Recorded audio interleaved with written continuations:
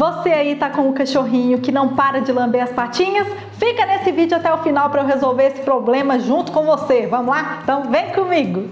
Amiga, tá boa, gata? Querida, o vídeo de hoje é um vídeo mais complicado, né? Porque essa situação não é uma situação corriqueira dos cachorrinhos, não é para ser normal, tá? Essa lambedura excessiva pode ocorrer por dois motivos e eles são bem importantes. Um motivo, primeiramente, seria o motivo emocional e o outro motivo seria o motivo físico. Vamos entender um pouco sobre isso. Primeira coisa que eu tenho para te dizer: a Fifi nunca passou passou por isso, graças a Deus. Porém, eu conheço várias mamães pet que já me relataram essa situação, tá? Com os cachorrinhos delas. Então, eu vou indicar tudo que elas me indicaram a fazer, né? Quando acontece essa situação aí com o seu cachorrinho, tá bom? Então, vamos lá. É, dois motivos. O primeiro é físico e o outro é emocional.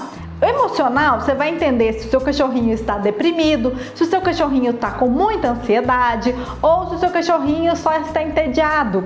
Sim, esses são motivos para o seu cachorrinho pegar a patinha e ficar lambendo eternamente, tá? Outro motivo é o motivo físico. Se tem algum bichinho nessa patinha, se tem algum carrapato ou pulga, ou até mesmo se existem dermatites que é alergias, né, na pele do seu cachorrinho e ele, consequentemente, vai ficar lambendo para tirar esse incômodo. Ou se estiver coçando, ou se tiver alguma feridinha, ele vai tentar lamber para retirar esse incômodo de qualquer maneira e isso ocasiona a lambedura excessiva nas patinhas do seu cachorro. Sim, minha amiga, se você não sabia dessas dicas, já se inscreve nesse canal para você não perder mais nenhuma dica, tá bom? E deixa um like para eu saber que você gosta desse tipo de vídeo nesse canal maravilhoso, combinado? Vamos lá então falar sobre quais os sintomas que você tem que ficar de olho. Se o seu cachorrinho, minha amiga, está muito tristinho, não quer brincar, não quer aquele petisco que ele ama, tem alguma coisa de errado, obviamente, né? E se você deixa o seu cachorrinho também por muito tempo sozinho, sem nenhuma atividade, se ele fica muitas horas sem fazer nada, né, em casa, você aí também pode ter esse problema com o seu cachorrinho. Ele vai descontar esse estresse em alguma coisa, ou ele vai roer as suas coisas, ou ele vai ou vai fazer xixi em lugares errados, ou então ele vai lamber as patinhas. Olha barulhada no meu vídeo! Socorro! Mas tudo tem jeito nessa vida, não é mesmo? Então eu vou te dar algumas dicas para você ficar de olho no seu cachorrinho. A primeira delas é fiscalize a pelagem do seu cachorrinho. Porque por motivos físicos pode ter alguma coisa que está incomodando seu cachorrinho. Fique de olho em pulgas e carrapatos, deixe o seu cachorrinho bem é, protegido, ou seja, use aqueles repelentes contra esses insetos, existem vários no mercado. Fica de olho depois dos passeios, porque provavelmente ele vai sair na rua e vai ter pulgas ou carrapatos por lá.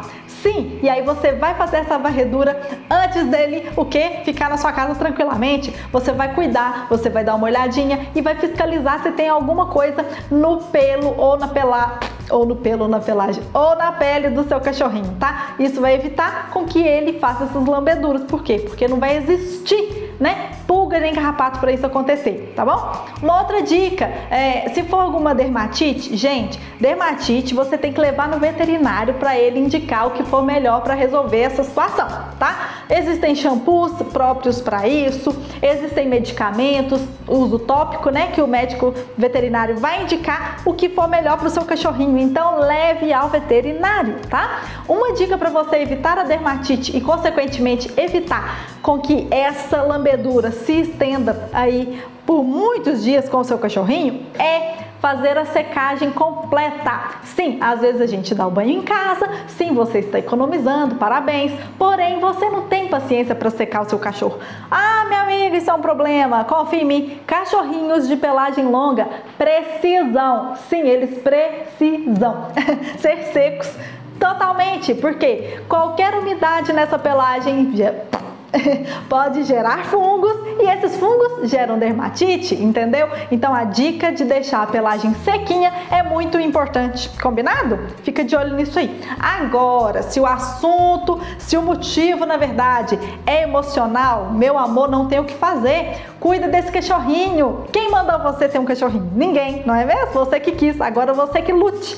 Você vá cuidar do seu cachorro com maior amor e carinho. De leve ele para fazer os passeios diários, né? Leve o seu cachorrinho para socializar com outros cachorrinhos, tá bom, minha amiga? Faça brincadeiras, brinque com o seu cachorrinho. Ah, mas eu trabalho o dia inteiro, não tem como, o que, que eu faço? Brinque no momento que você estiver em casa, tá? Ele vai amar, ele vai adorar esse momento com você.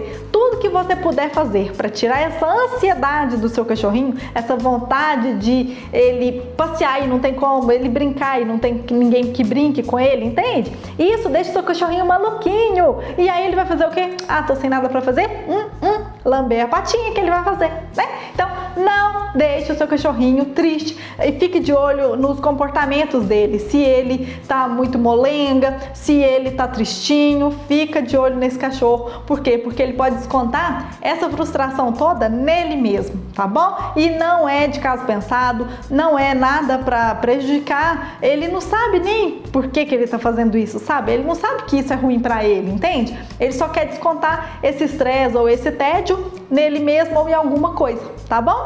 Arrasou?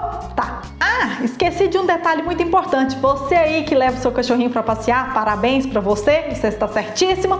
Porém, você tem que ficar de olho se o seu cachorrinho está andando com as patinhas ali no chão quente. Essas lambeduras podem ser para tirar essa sensação ruim que fica na patinha dele. Se o seu cachorrinho queimou a patinha no chão quente ou no asfalto, não importa onde você está passeando com ele, e ele se queimou, ele vai lamber essa patinha até ele se sentir bem. Então fica de olho em passeios com horários errados, porque horários com sol muito quente não é legal para passear com seu cachorro. Veja se, eh, principalmente no verão, né, que tá aquele sol a pino, não leve seu cachorrinho para passear em horários quentes, porque isso pode queimar a pata e isso pode ocasionar lambeduras excessivas. Combinado? Ah, então tá bom.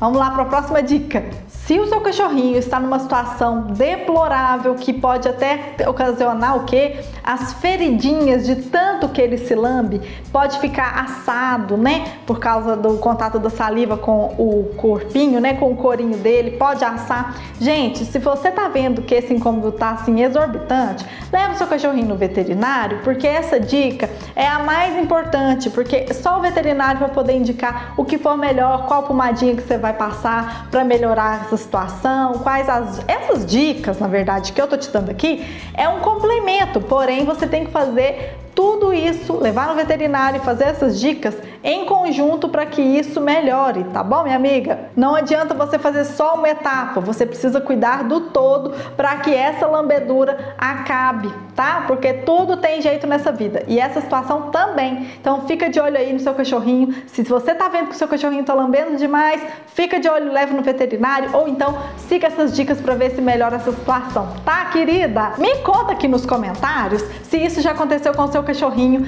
Me conta se você fez essas dicas e deu certo, que eu vou amar saber. Eu amo conversar com vocês por aqui. Segue a gente lá no Instagram, é Bruno Norato Oficial e o Insta da Fifi, que a gente tá sempre por lá, tá, minha amiga? Ah, eu espero muito que esse vídeo tenha te ajudado de alguma maneira e compartilha com aquela sua amiga que tem um cachorrinho que não sabe mais o que fazer com aquela lambedura excessiva do seu cachorro, do cachorro dela, entende? Faça isso, ela merece esse vídeo, tá bom? A Tchabu tá indo embora agora, mas a Tchabu volta, combinado? Então tá, um beijo Fiquem com Deus e a gente se vê então nos próximos vídeos, tá? Tchau!